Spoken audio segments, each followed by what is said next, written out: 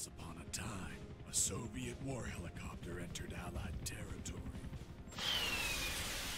The aircraft was intercepted and shot down. As the pilot emerged from the wreckage, he was arrested by the same bastards who shot him down, and later was brought to a military base for interrogation. That pilot was me. Name? My name is Fox. Jesse Fox. You don't seem to be Russian. Russian? Me? You were piloting a Russian aircraft two hours ago. I also drive a Toyota, and I'm not Japanese. All right, Mr. Fox. Before arresting you, I'm obligated to write down a report with your version of the facts. So tell us what the hell you were doing in that heavily armed Soviet helicopter. It's a long story. Sergeant, bring us some coffee. Yes, sir. Wakowski, bring the lieutenant some coffee. Yes, sir. Well, Mr. Fox, we have plenty of time. Explain what happened. In 1972, a crack commando unit threw me in a prison for a crime I didn't commit. You're under arrest for a crime you didn't commit. I promptly escaped from a maximum security stockade to the underground, trying to survive from these soldiers of fortune.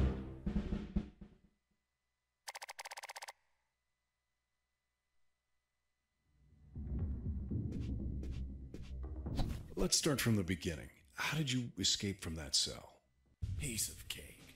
I just had to write a note. A note? Where'd you get the paper from? I used toilet paper. I see. And how did you find a pen? A pen?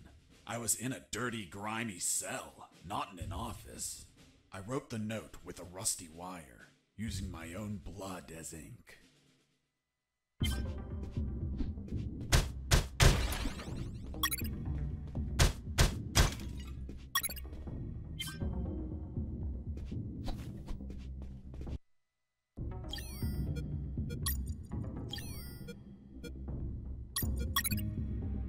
Scratched my arm with the wire and got to work.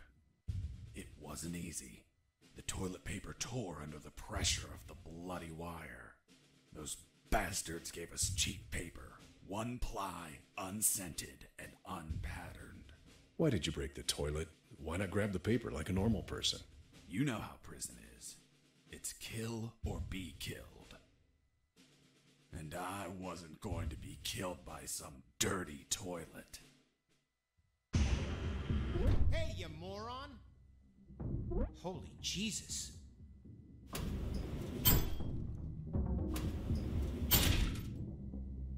You schmuck. Do you really think I'd be stupid enough to kill myself? Kill myself? Ah!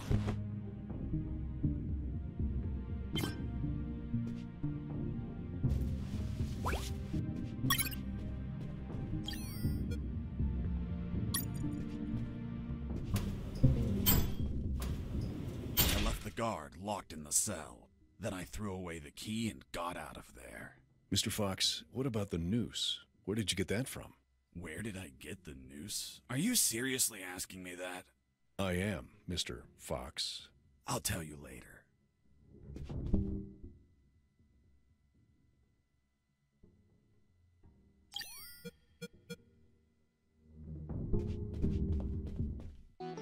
When leaving the cell, I found myself in a prison yard surrounded by some buildings. There were piles of boxes and other stuff here and there. And the ground was plain dirt. Oh, and it was night.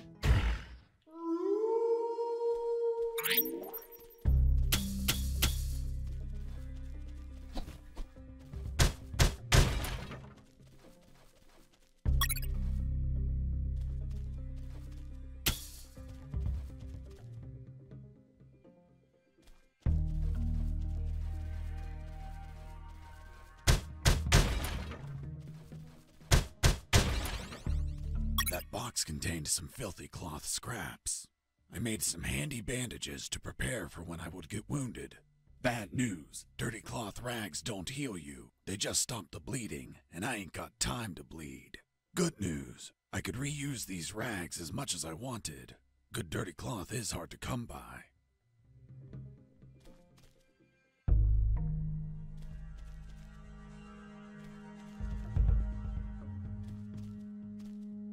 Thought everyone would be asleep at night, that it was safe to escape. I was dead wrong. I noticed the presence of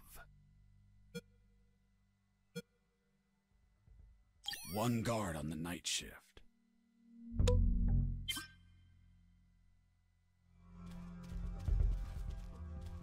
I heard something.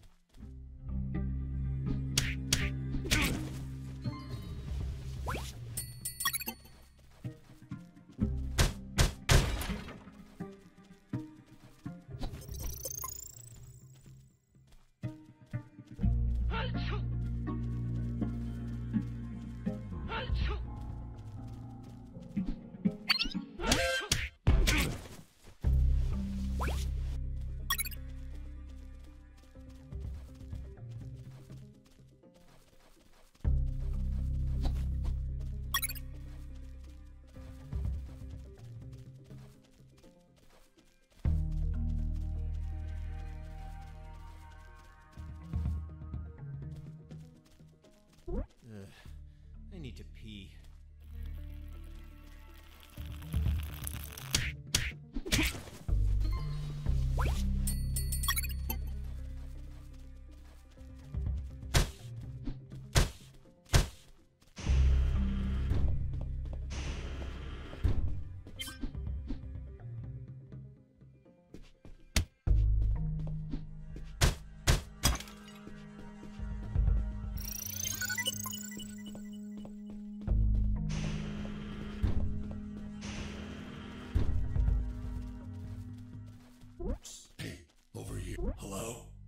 Talking to me? Affirmative. My name is Colonel Alan Harris, 5th Battalion. I'm Jesse Fox. Rank? I'm not military, Colonel. Then tell me, Fox, what the hell are you doing here? I've been jailed for a crime I didn't commit. Do you know how to get out of here? Try to escape through any sewer. There must be one nearby, because it stinks when it's hot. Once outside, move along at nighttime and sleep during the day. What about you, Colonel? I've been tortured. My legs won't make it. But if you bring me a radio, I can help you escape. Hold on. Harris, are you sure you heard him say Alan Harris? Yes, sir. Saw him yesterday. Look, Mr. Fox, Colonel Harris died a month ago in an ambush. Well, it's the name that stubborn old man gave me. I see. I'll write down on the report that you talked to Colonel Harris after his death. Continue your story. As I was saying, I searched for a radio to bring him.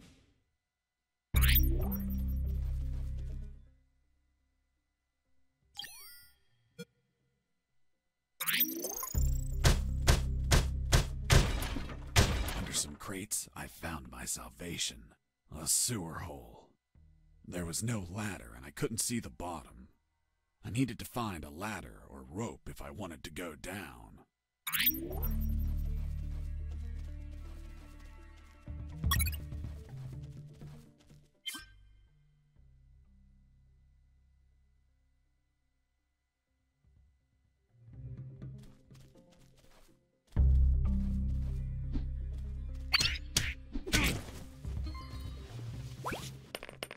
Took a coin off the guard.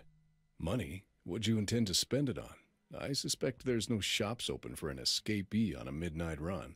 Who said anything about spending? I used it to distract soldiers. I quickly found out that guards love picking up free coins off the ground.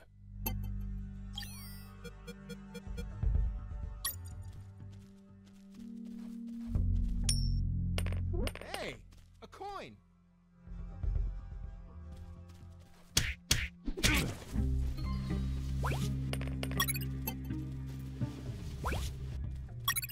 Picked up the guard's radio.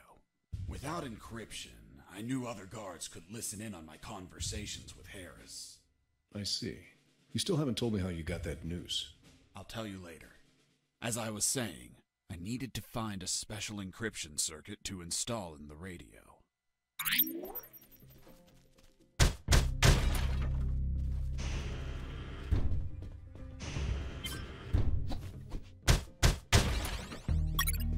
had the circuit. I just had to attach it to the radio.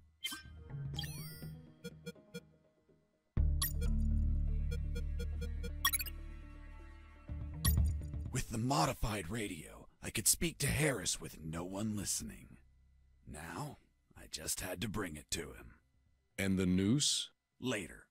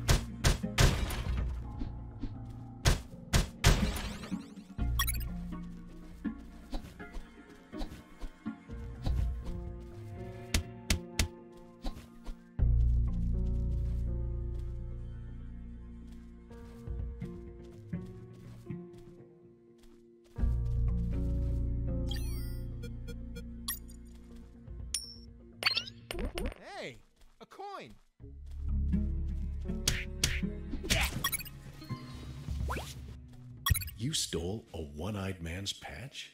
A one eyed man that would shoot me without hesitation. Because it was his job. What you did was macabre and suggest you might have a fetish. Holy Jesus. Well, that patch turned out to be handy to create a lethal weapon.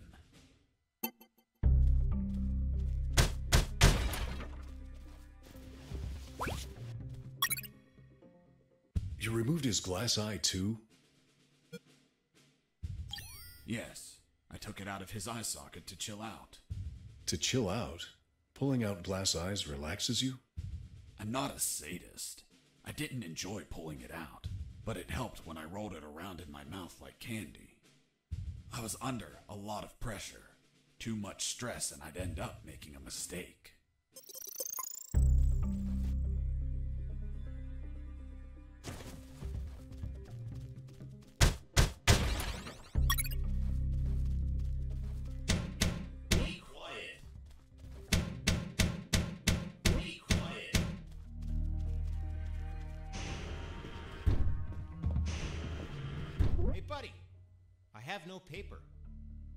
Some?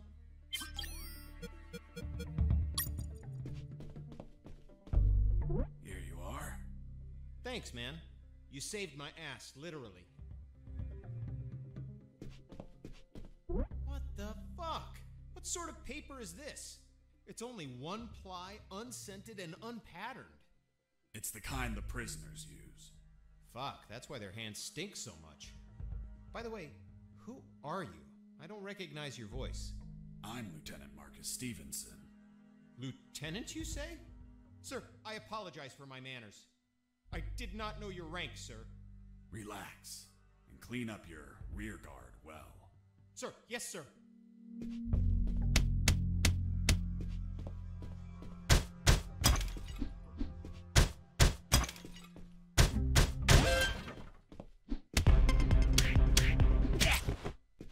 Broke down the door and attacked a guard while he was on the toilet? Yes, I beat the shit out of him. Is that a joke? No, I literally beat the shit out of him. That toilet paper wasn't unscented anymore. Let's move on.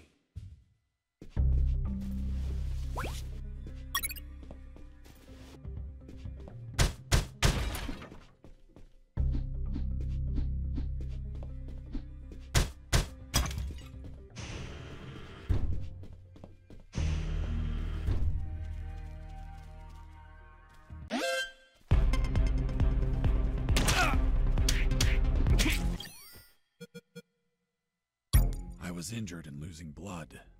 I had to heal that wound before I bled to death.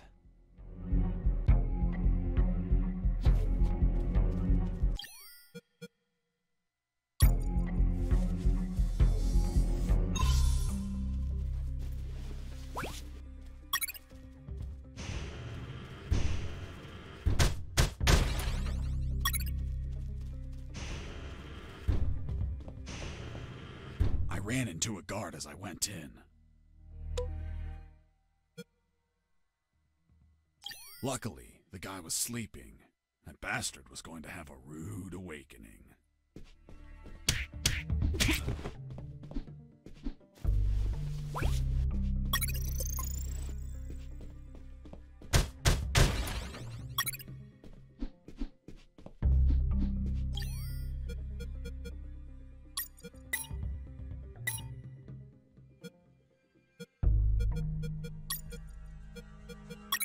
Lethal weapon you created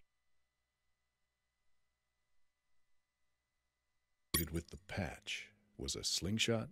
Sort of childish, don't you think? What were you going to shoot? Pebbles? Depleted uranium balls. Three shots, and goodbye, guard.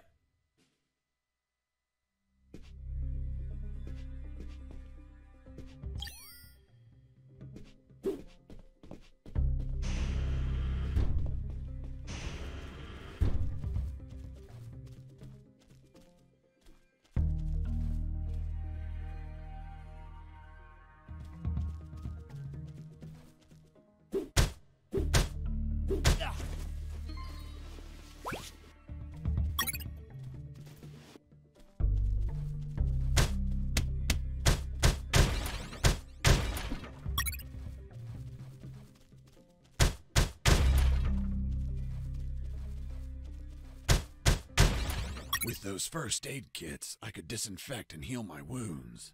Good news, those kits stopped any bleeding and also healed my wounds over time. Bad news, once you used them, they were gone.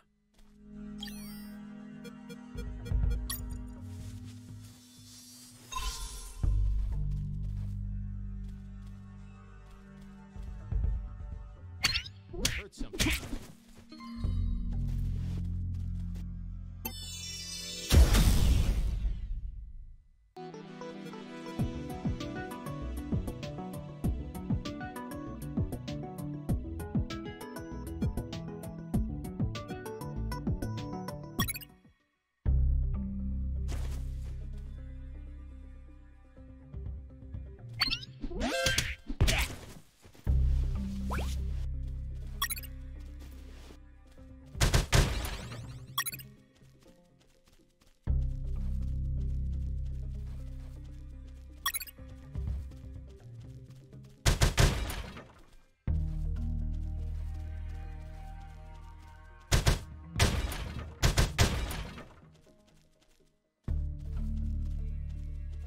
Hey, Mike, can you tell them again?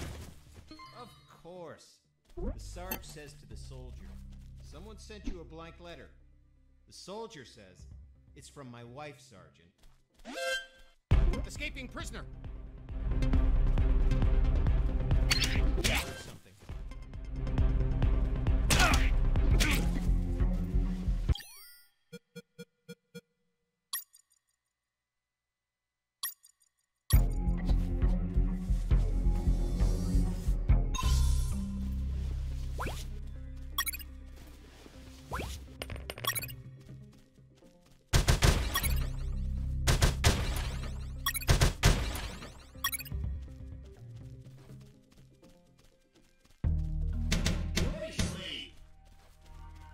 I reached a special place where I found something.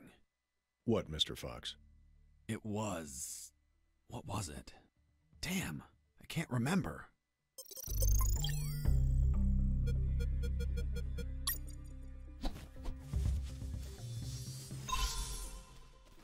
Oh, yeah, now I remember.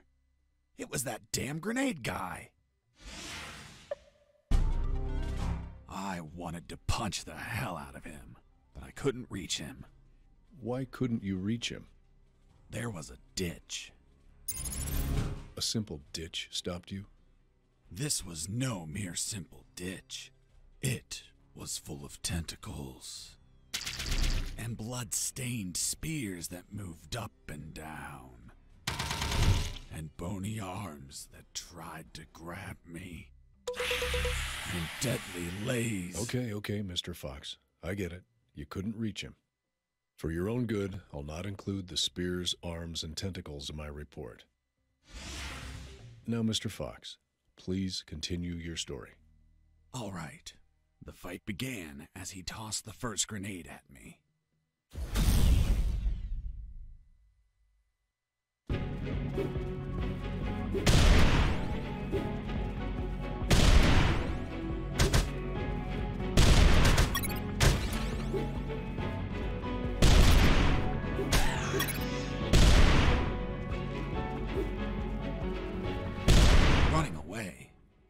Stupid, but not a coward.